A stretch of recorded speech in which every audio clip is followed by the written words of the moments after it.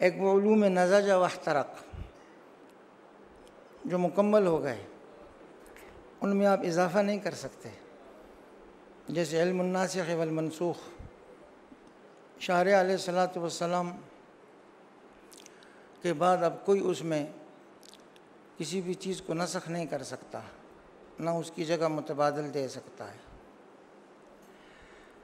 कुछ में माँ नजजा व महतरक न मुकम्मल हुए हैं और न अपनी अवसाफ में आखिरी दर्जे को पहुँचे हैं।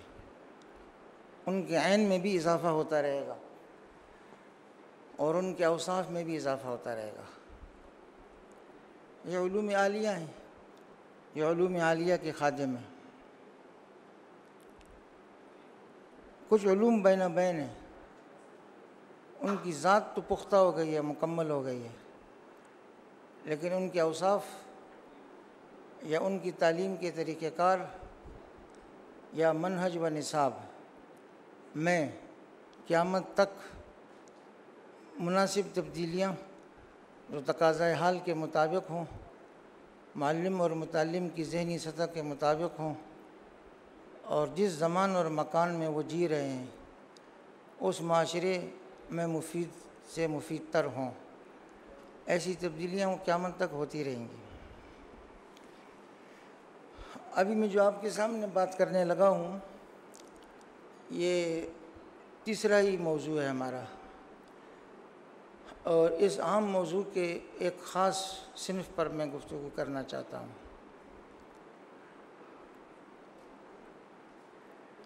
दरस निज़ामी ये मुश्तरक का निज़ाम तालीम है, आठ साल।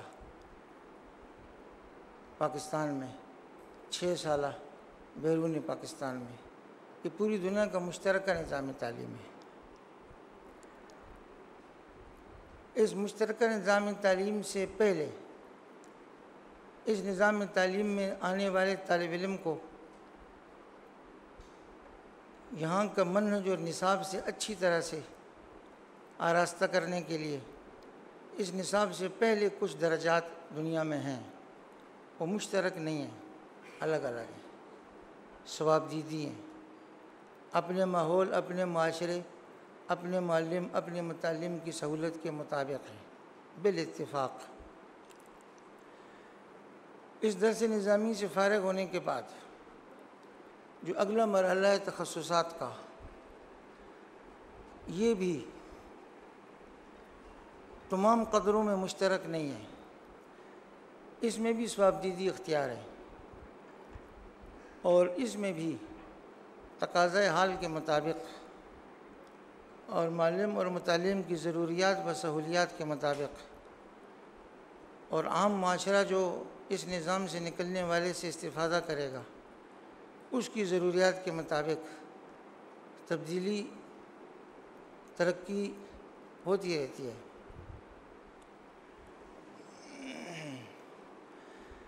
जामित रशीद से पहले जो इसका भी बानी इदारा है दारफ्ता वलरशाद उसके भी जो बानी में मुसिस थे, उनको ये अख्तसास हासिल था। कि उन्होंने इस दूसरे मरहले जो फजला की उस तरबियत के लिए है, जो दरस निज़ामी की बुनियादी तरबियत के बाद जिसकी ज़रूरत पड़ती है, उसके मरहले की इब्तदा उन्होंने की।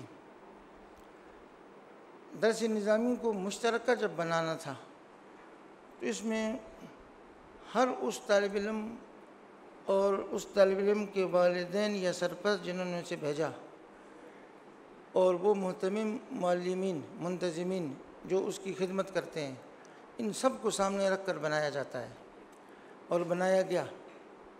हमत और फिरासत का तकाजा भी यही था और नकल व अकल का ज़ोर भी इसी पर था कि सब के लिए काबिल कबूल हो। उसमें एक बात ये भी थी कि ये कम वक्त है। इस कम वक्त में वो बुनियादी ूम पढ़ा दिए जाएँ, जिनके बाद आदमी फिर अख्तसास की तरफ़ आसानी से जा सके और जिसको अख्तसास का मौका ना मिले तो वो तदरीस और उसके साथ मताल और मुराजा इसके ज़रिए से अपनी इल्मी सलाहियतों को जिला बखशता रहे और उसके ज़मन में वो अपनी तदरीसी तहकीकी तसनीफ़ी दायाना सलाहियतों को भी परवान चढ़ा सके। तो दरस निज़ामी वाले हजरात ख़ुद बहुत सी चीज़ों का इसमें इजाफ़ा नहीं करते हैं। वो कहती कम वक्त है, इसमें बहुत सारी किताबें, बहुत सारे हमने जमा कर दिए हैं, जो उसके अंदर एक बुनियाद तामीर कर देते हैं कि अब वो अपना मताल ख़ुद निकाल सकता है और कुतुब से इस्तेफ़ादा कर सकता है। किताबें तीन किस्म की होती हैं। तो दरस निज़ामी में निसाबी कुतुब होती हैं और उनके साथ साथ बिल इस्तियाब मताले के लिए कुछ किताबें होती हैं और उनके साथ साथ बिल इंतखब मुराजा आंद ज़रूरत के लिए कुछ तवील तवील ज़ख़ीम किताबें भी होती हैं, जो कुतुब खानों में उसको मददगार के तौर पर फ़राहम की जाती हैं। निशाबी कुतुब को सबकन सबकन जब आदमी पढ़ ले, उसके बाद माविन कुतुब का वो बिलस्तियाब मताल भी कर ले, शुरू और हवाशी का। उसके बाद फिर वो मुराजा वाली किताबों की तरफ़ चला जाता है, जिनका इस्तियाब नहीं होता। उनका इंतखब होता है, बवक्त ज़रूरत। वो पूरी इल्मी दुनिया की उस ज़रूरत को पूरा करते हैं, जो नादिर व नायाब मतलूब होता है। हर जगह दस्याब नहीं होता।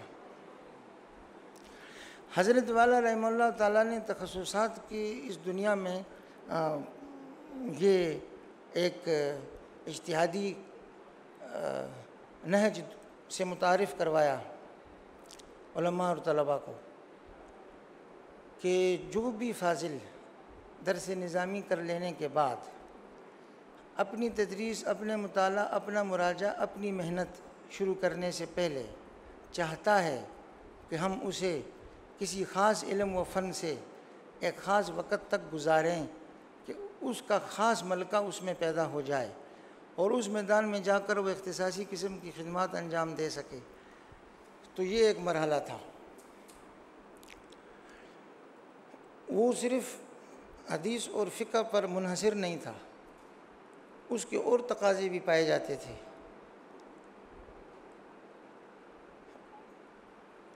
और वो उलमा खवास हजरात मशाइ खवास हजरात, और आवाम और मतदीन आमादीन ज़ुआमा मुआविन मुरीदीन, सालिकीन आवाम उनकी तरफ़ से भी वो तकाजे पाए जाते थे कि जिस तरह से दरस निज़ामी के बाद एक इनकलाबी कदम की ज़रूरत है कि मंतखब फजला को लेकर, मंतखब फ़नून से आरास्ता किया जाए।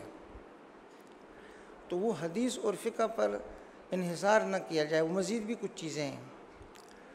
तो हज़रत वाला रहमल्ला ताला के बाद अल्लाह ताली ने उनके जानशीन हज़रत उस्ताद मोहतरम साहब दामन बरक़ातमिया को ये तोफ़ी दी कि इन तखससात में मज़ीद इजाफ़ा हुआ। और वो एक साल भी हैं, चालीस रोज़ा भी हैं, हफ्तावारी भी हैं और कई चीज़ें हैं जिसकी भी आवाज़ उठती रही कि इसकी ज़रूरत है कि वलमा जब अमली मैदान में उतरें तो इन माविन व फ़नून से आरास्ता हों। तो वो अल्लाह ताला ने शुरू करवा दिया। ये सिर्फ़ तमहीद के तौर पर अर्ज़ कर रहा हूँ। अभी हमारा मौजू ये नहीं है। ये आगे चल कर हो सकता है। जो ख़ास मौजू इस मजलिस का है, वो ये है कि जिस तरह इस मुश्तरक राइजुलवक्त राइजुलज़मान और राइज फ़ी जमी अमकिना। इधर से निज़ामी के बाद कुछ चीज़ों की ज़रूरत थी जिनसे फजला को आरास्ता किया जाए और वो अल्लाह ताला ने पूरी करवाई। जिस छत के नीचे आप बैठे हुए हैं, इसी के बानी और उन्हीं की जानशीन के हाथों। इस दरस निज़ामी से पहले हिफ्ज़ से जब बच्चा फारग होता है दरस निज़ामी तक आने का जो बीच का दौरानिया है, इस खला को भी इस अंदाज में पुर किया जाए कि जैसे तखसस करने वाला बेहतरीन आलिम, बेहतरीन फाजिल, बेहतरीन दाई मदरस बन कर जाता है, ये हिफ्ज़ से लेकर दरस निज़ामी तक के बीच का ऐसा अच्छा वक़्त गुजारने वाला तालब इलम, बेहतरीन तालब इलम बनकर जाए किसी भी मदरसे में। तो इसको खला तो मैं ऐसे रवा रवी में कह गया, इस खला को पुर करने की कई सूरतें हमारे यहाँ राइज थीं।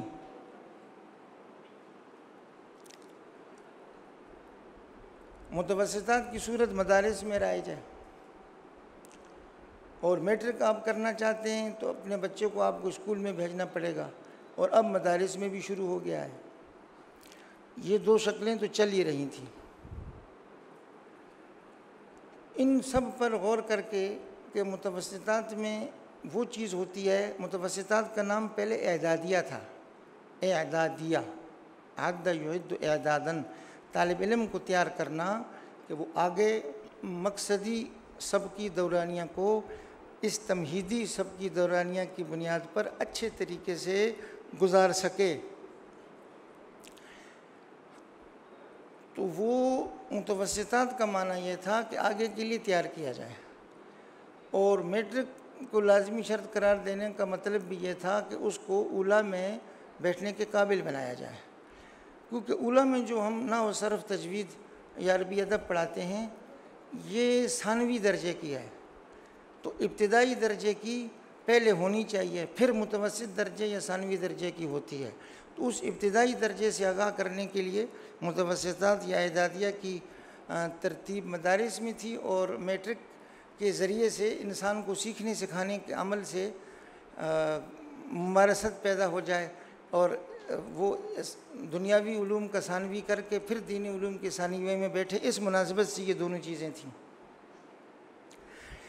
इन दोनों पर गौर करके फिर ये वफाज एजुकेशन सिस्टम ईजाद हुआ अल्लाह ताला के फजल से। और आप सब भाइयों के जो दिलों में तकाजे थे और और मशाइ जो चाहते थे आ, उस चाहत को अल्लाह ने अपनी मंशा से पूरा करना था। और जामिया के मुंतज़मीन की दूर अंदेशी थी।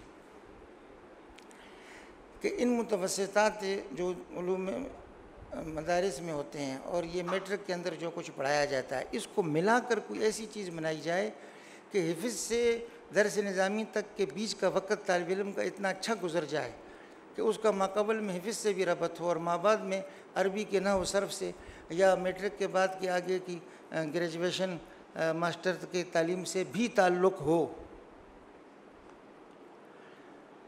तो ये उफाज एजुकेशन सिस्टम वजूद में आया है। इसके पहले साल अरबी सिखाई जाती है क्योंकि अभी बच्चा हिफज करके आया है और कहीं कहीं कुरानी अरबी भी होती है। ना होती है तो उसने कुरान शरीफ का अरबी का लफ्ज़ सीख लिया है, याद कर लिया है, सुना सकता है। ज़ुबान पर रवा है, दिल में जागुजी है। अब उसको एक साल में अगर हम अरबी सिखा दें ना, मुकम्मल अरबी। कोई और चीज़ की हम कुर्बानी दे दें, अरबी उसकी मुकम्मल होने की कीमत के लिए। मुकम्मल होने का माना कि जो ज़ुबान की चारों महारतें होती हैं पढ़ना और सुनना, जिनसे आदमी लेता है, फिर बोलना और लिखना, जिनसे आगे वो इबलाग करता है। चारों महारतें हों और इस दर्जे की हों कि वो हेवार से लेकर और ख़िताबत या मुबासा फिल बदी मुबासे तक वो चला जाए, इसी एक साल में। तो अरबी जब उसकी मुकम्मल हो जाएगी तो अब ये इब्तदाई दर्जे की सर्फ ना हो गई। अब वो सानवी दर्जे में सर्फ ना पढ़ने के लिए उला में बैठेगा तो उसके पास खलफिया, जहनी पस मंज़र खूब मज़बूत है। इब्तदाई और मुतवसत वो पढ़ लिया है। इब्तदाई पहले साल और मुतवसत अरबी अगले चार सालों में। अब वो जब उला में बैठता है नाव सर को बहुत अच्छी तरह जबत करता है। जब उसकी अरबी स्पोकन ये भी हो गई मनतूक अरबी उसको आ गई और मकतूब अरबी भी अच्छी तरह जबत हो गई तो हमारे इस्तेदाद की बुनियाद तो इसी को कहा जाता है।